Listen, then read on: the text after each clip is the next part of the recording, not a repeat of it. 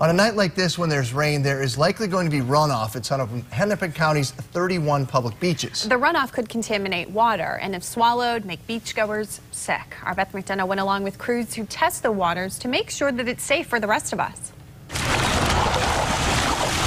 This is what a day at the beach looks like for the Tabner family. Wet, sandy, sloppy. islands and streams and all kinds of stuff.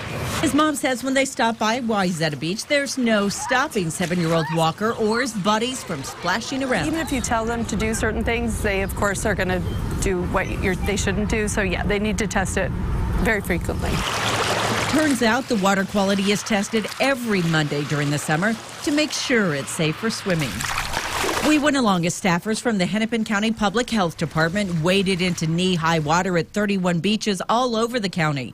They collected samples in plastic bottles and temporarily stored them.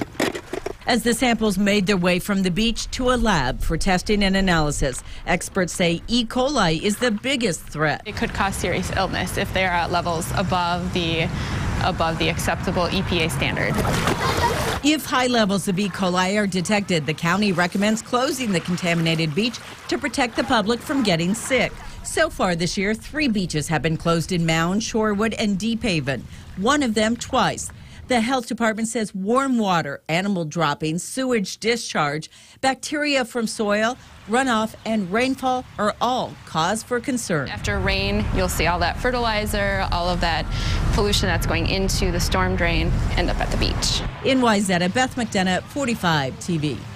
Right now, all 31 beaches are open. Some will be retested on Wednesday after the rain. Minneapolis, Minnetonka, Bloomington, Plymouth, and Three Rivers Park District test their beaches on their own. All right.